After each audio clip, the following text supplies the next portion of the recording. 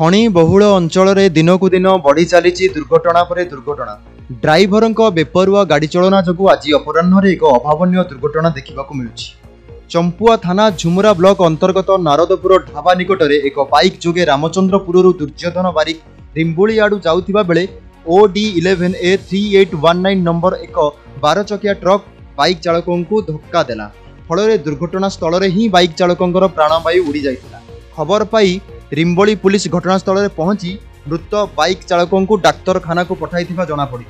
driver फेरार ठाउँ ट्रकि रिम्बुली फान्डी अधिकारि जब रितासह अधिक पुपुङ्ख तदन्त जारी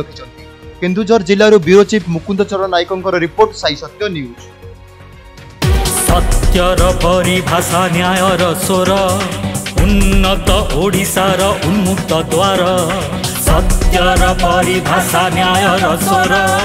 उन्नत ओडार उन्मुक्त द्वार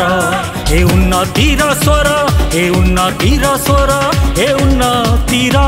स्वर साई सत्य न्यूज साई सत्य न्यूज साई सत्य